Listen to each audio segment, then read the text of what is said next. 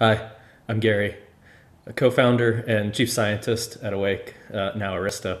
I've been an investigator in some pretty notorious breaches. Uh, had the opportunity to uh, have hands on the keyboard during Operation Aurora, during the 2008 presidential campaign compromises, um, quite a few other cases that were never publicly disclosed.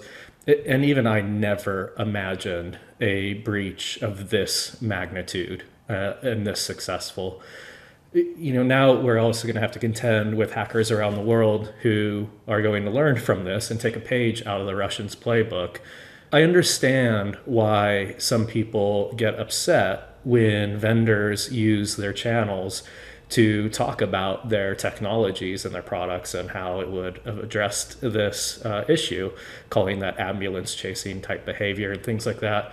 But to the contrary, I think that we need vendors to stand up now more than ever. I think people need to hold these tools and technologies accountable for addressing issues like this. Uh, I think we need vendors to be more vocal than they've ever been before. And I think that we as an industry need to be measuring those responses carefully. Because, you know, look, right now, we have people coming out talking about IOCs and, and domains and IP addresses. And we're talking about detecting some of the most sophisticated threats out there using detection techniques that are exponentially less effective literally every day that passes. 20 plus year old techniques for identifying threats like this. You know, when we're talking about supply chain compromises, we're talking about software that's brought into the enterprise legitimately, brought into the enterprise by the IT department, deployed by IT, but behaves differently. And so we really do need to be talking about how we're detecting threats like that and get past and evolve you know, using domains and IP addresses uh, as uh, and uh, and passing that information around as if that's an effective means for for detecting threats.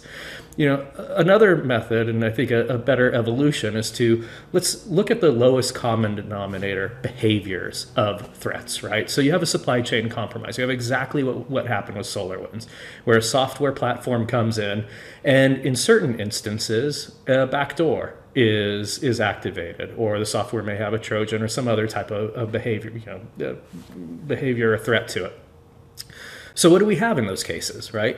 You have a system, software or a system that's in the enterprise that now begins to communicate with a destination uh, re- recurrently or with you know some level of persistence that very few other systems in the organization are doing. So that's an example of a very low common denominator pattern in behavior.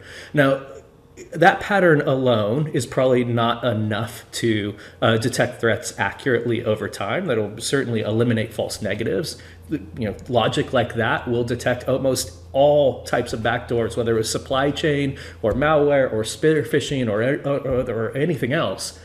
However, to do this accurately, we also need to analyze what we can think of as corroborating evidence, right? So, uh, can we explain that behavior in the enterprise? We see this pattern, but is this uh, intended or justified in the enterprise? Let me give you an example of that. So, here uh, I'm going to bring up and show you uh, what we call a situation in Awake which is uh, sort of one of the highest levels uh, in terms of abstract reporting in the system. We're a full packet capture system, so we have all the traffic, and you can get down and do do analysis of traffic. But lots of uh, machine learning has been added to the system to automate analysis for us, and so that's what we see here. We see that a C2 was detected, the C2 model triggered, meaning that there was a device that was somewhat recurrently communicating with a destination that was relatively rare for the organization. Uh, the follow up analysis uh, engines that are looking for that corroborating evidence to try to support the legitimacy of this uh, in the enterprise was just not able to establish this as being legitimate. So it triggered the C2 model. Then further analytics ran and, and found that before this occurred, this device actually started bouncing between these servers uh, for the very first time. And not only was it for the first time, but uh, we could not, the system could not establish the legitimacy of these or explain the legitimacy of these either. This is where we ultimately get the redirects, uh, the exploit, and then the download of the malware. Then uh, C2 uh, continues, and ultimately the system identifies another device in the network that's behaving similarly. Uh, that one started right around the time it was uh, interacting with email, so it looks like, to, like this could have been a spear phishing cam- campaign.